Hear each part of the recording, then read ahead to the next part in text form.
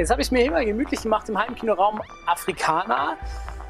Und hier haben wir wirklich ein ganz besonderes Schmankerl. Heimkinoraum Afrikaner ist eigentlich so eine, ja, eine Wohnrauminstallation, kann man sagen, aber mit einer ganz besonderen Leinwand, mit einer Rahmenleinwand. Und das ist hier eine 4,20 Meter breite, maskierbare Rahmenleinwand, die horizontal maskiert wird. Das heißt, äh, ich kann die rechte und die linke Seite äh, verschmälern.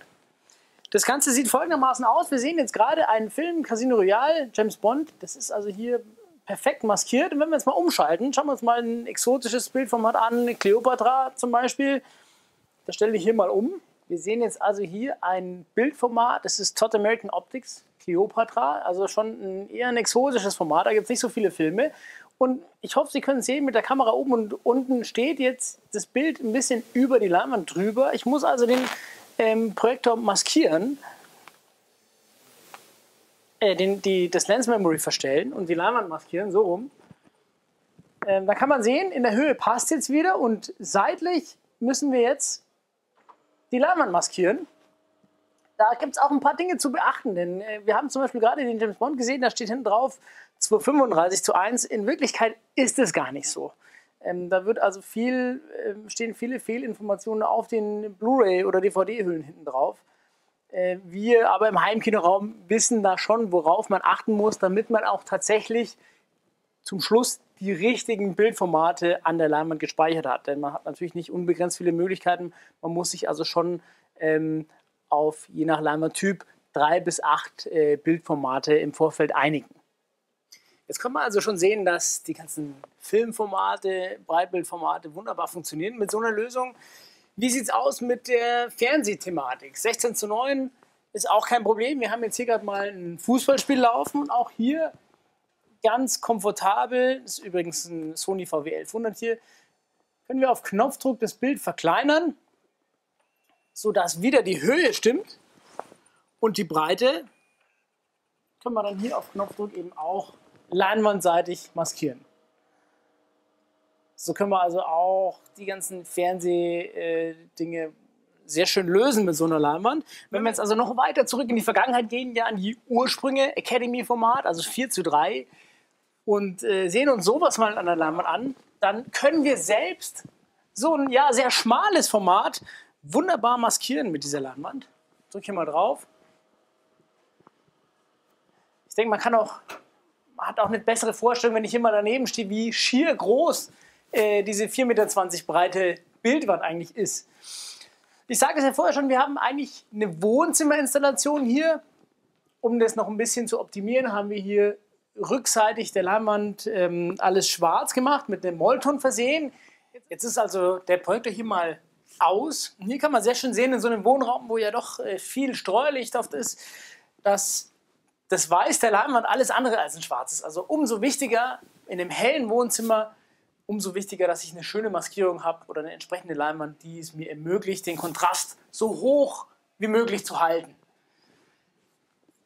Jetzt ist es aber so, so eine Rahmenleinwand, die hat natürlich auch Nachteile. Die ist ja jetzt hier in dem Fall sogar äh, ziemlich gewaltig und hängt natürlich permanent da. Ich kann die also nicht mal schnell äh, wegfahren und dahinter ist dann mein äh, schöner Flachbildfernseher oder idealerweise habe ich einfach ein schönes Bild. Ähm, aber auch dafür gibt es eine Lösung, denn die Leinwand, dieses spezielle Modell hier, verfügt über eine Option. Möchte ich Ihnen gerne mal demonstrieren. Man kann hier also ein Bild in die Leinwand reinfahren. Also im Rahmen fährt nun ein Bild, das Sie selbst wählen können übrigens kann sich also dann passend zum Raumdesign was Schönes aussuchen. Es wird dann gedruckt, sogar in dieser Breite möglich. Und bei Nichtbenutzen verwandelt sich die Leinwand in ein schönes, passendes Bild.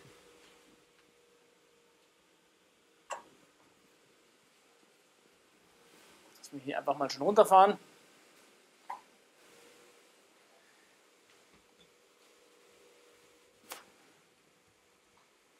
So.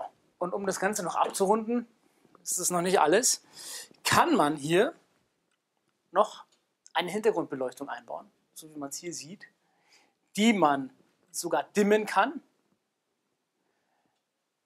Das Ganze ist sehr gleichmäßig, also wirklich toll durchdacht, nämlich hinter dem eigentlichen Bildtuch ist ein, äh, ja, so ein LED-Tuch, äh, nenne ich es jetzt mal. Da sind also LED-Streifen wirklich in einem sehr geringen Abstand, also tausende von kleinen LEDs, die dieses Bild einfach sehr homogen und gleichmäßig ähm, hinterleuchten, ohne dass es dann so ähm, Flecken gibt. Also man sieht, es ist sogar möglich, eine ja, perfekte Rahmenleinwand schön in einen Wohnraum zu integrieren. Dieses spezielle Modell hier gibt es übrigens auch auf Wunsch als vierfach maskierbare Leinwand, also nicht nur von rechts und links maskiert, sondern auch von oben und unten. Ja, und ich hoffe, Sie konnten jetzt mit diesem und den anderen Videos über Multiformat-Leinwände schon mal so einen Eindruck gewinnen, wie kann man sowas vielleicht zu Hause realisieren, wie funktioniert es überhaupt, was steckt alles an Technik dahinter. Sie sind an der Stelle auch herzlich eingeladen, uns mal hier im Heimkinoraum zu besuchen, denn wir haben natürlich diese Lösungen alle hier auch aufgebaut zum Anfassen, zum Anschauen und wirklich mal zu vergleichen, wie sieht es denn überhaupt aus, wie viel bringt so eine Maskierung, kann ich Ihnen wirklich nur empfehlen. Schauen Sie sich das einfach mal an. Äh, man kann sich das gar nicht richtig vorstellen, wenn man es nicht gesehen hat. Ich bedanke mich fürs Zusehen. Bis zum nächsten Mal. Auf Wiedersehen.